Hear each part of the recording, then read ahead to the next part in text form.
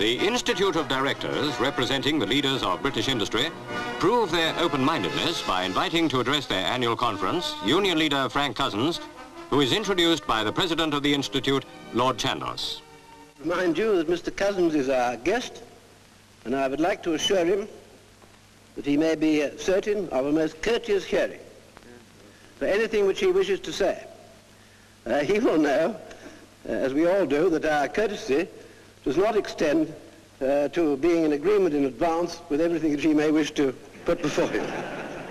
Mr. Cousins, who is Secretary of Britain's biggest union, the Transport and General Workers, refers, amongst other subjects, to the recent car industry dispute. There must be no repetition of the BMC affair, where 6,000 workers, many of whom had been employed for more than 20 years, were summarily dismissed without consultation. Action of this kind can destroy overnight the result of years of painstaking effort in building better relations.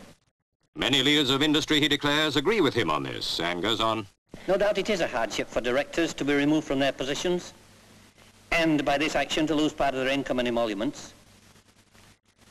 But the dockers I represent, and their wives, suffer a much greater hardship when they lose their jobs.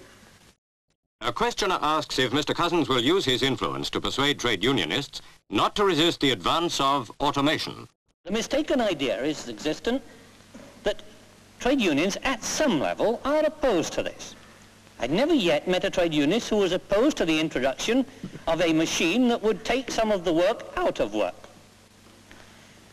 What he is concerned about is the immediate and personal effect which applies to him from the introduction of such measures. We in the trade union movement are not entering a recklessly militant period of industrial relations.